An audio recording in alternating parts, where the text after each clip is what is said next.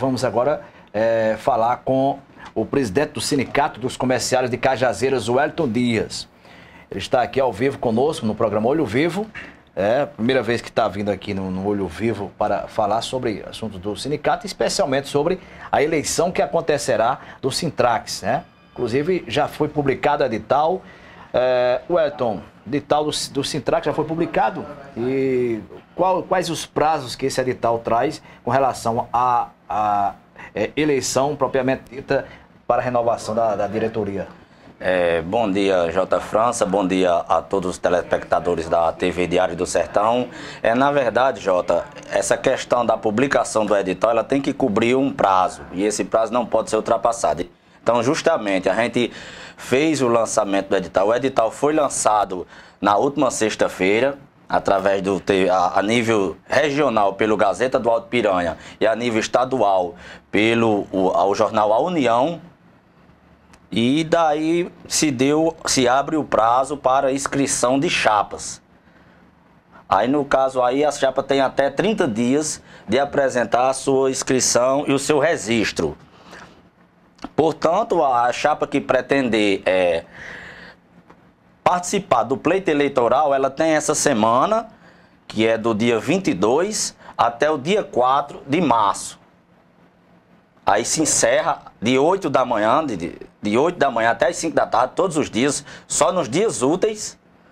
E daí se encerra o prazo e, consequentemente, dependendo de chapa A ou B, se for chapa única ou mais de uma chapa, ela terá cinco dias para alguém apresentar é, a impugnação da mesma, ou das mesmas. Você vai ser candidato à reeleição, Wellington?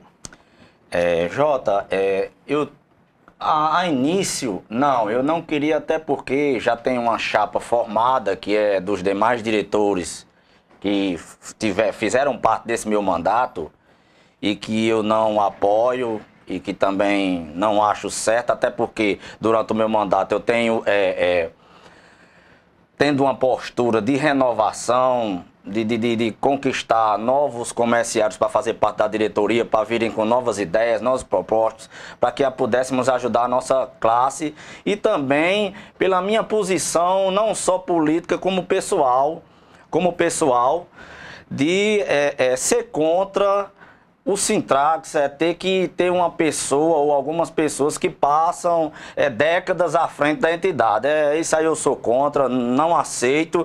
E devido a essa, essa minha posição, esse meu propósito de, de renovação, a diretoria praticamente que, que, se rachou nos últimos meses e eles resolveram formar a chapa deles sozinha justamente me deixando de fora, até porque eu não comungo com, com as ideias. Eu pretendo construir uma renovação, novas ideias, novos projetos.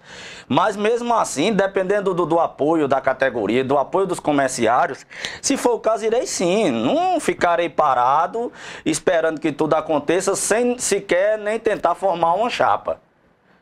Eu vou sim, vou para a rua, inclusive, é, o que me motivou mais foi de ontem para hoje o apoio que eu tenho tido pela classe comerciária, pelos amigos e pelas pessoas é, em geral do comércio de Cajazeiras. Aí, isso aí me fez é, é, renovar forças e ir para frente é, no intuito de tentar formar uma chapa e não ficar parado esperando as coisas acontecer. E outra coisa também, eu bato muito na tecla da, da democracia. Que democracia é essa que as eleições do Sintrax sempre tem que ter chapa única? Os comerciários não vão ter direito de escolha, de escolha nunca? E por que essa coisa de nunca deixar formar outra chapa? Sempre a, a, o chamado situação forma sua chapa o mais rápido possível e quem está lá, como se fosse uma oposição, que tenta formar uma chapa para ter o direito de competir, nunca consegue formar. Então, sobre esse aspecto daí, eu sou contra, nunca fui a favor. E nas outras entrevistas, seja em rádio, em televisão, todo mundo sabe. Eu sempre fui a favor da democracia e do direito de escolha. E principalmente o direito de renovação.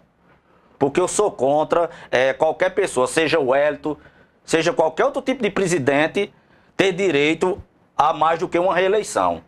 À frente da entidade, seja sindicato, seja associação, seja uma prefeitura, seja o que for, entidade pública, porque a entidade pública você tem que entender que ela pertence ao associado. E não a presidente A, presidente B, diretoria A ou diretoria B. Então eu tenho apostado muito no processo de, de, de, de renovação, nesse processo de, de, de, de democracia. Porque que país é esse? Nós não vivemos num país democrático? E por que você não tem direito de escolha? Tem que ter sim. Quem achar que tem voto, que deixa o outro competir, que deixa a população, deixa a classe comerciária escolher e não obrigar a classe comerciária simplesmente ter só uma linha que é chapa única. Você lembra quantos anos ou quanto pleito eleitoral do Sintrax de Caiazeira que houve duas chapas?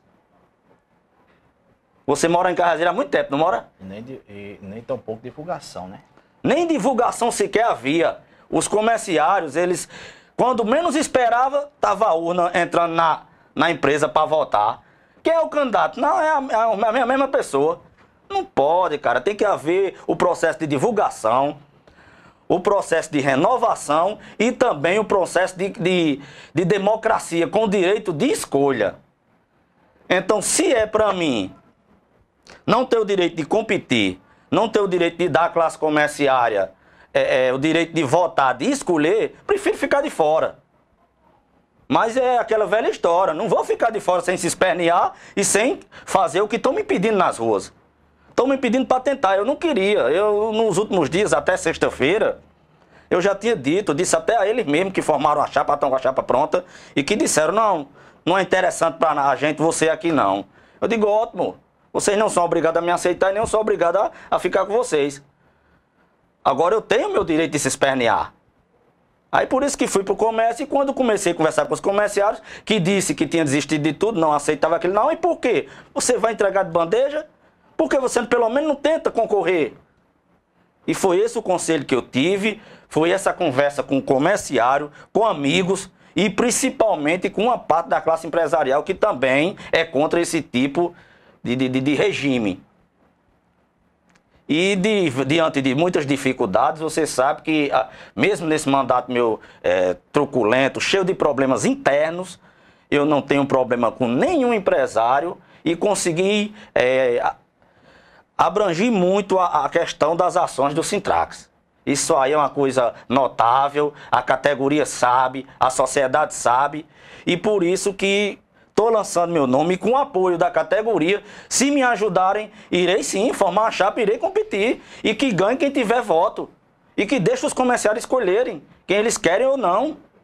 Dessa diretoria atual que você é, preside, todos se rebelaram contra você ou existe alguém? Não, que... existe uns que estão mais preocupados é, é, é, em ficar de fora.